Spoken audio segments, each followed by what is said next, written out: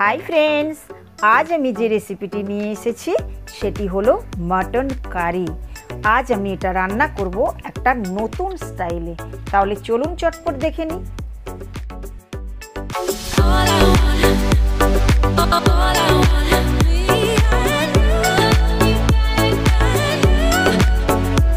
আমি এখানে পাঁচশো গ্রাম মটন নিয়েছি আর গোটা চার পিস আলু নিয়ে নিয়েছি।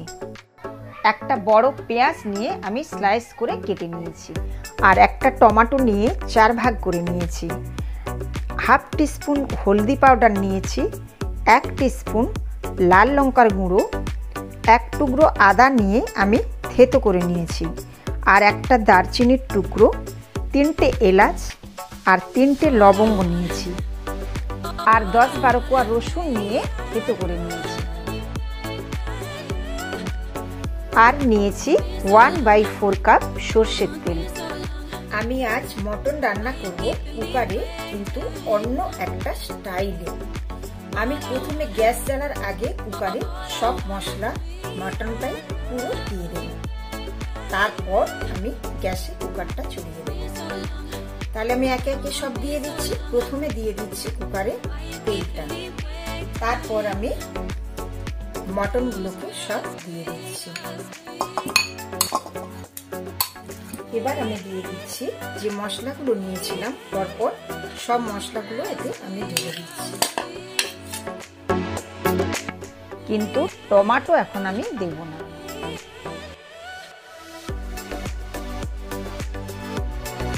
এবার আমি এগুলোকে একসাথে সব আস্তে আস্তে মিক্সড করে দিচ্ছি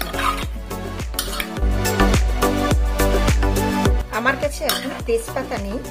যদি আপনারা চান তো একটা তেজপাতাও এতে দিয়ে দিতে পারেন। মিক্স করে নিয়েছি।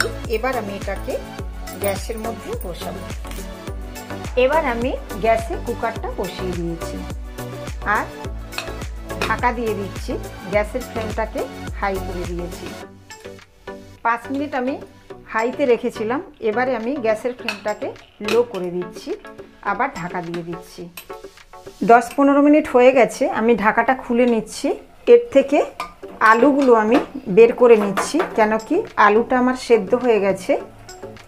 এই মশলাতেই আমার মটনটা আধা সেদ্ধ হয়ে গেছে আর আলুগুলোও সেদ্ধ হয়ে গেছে।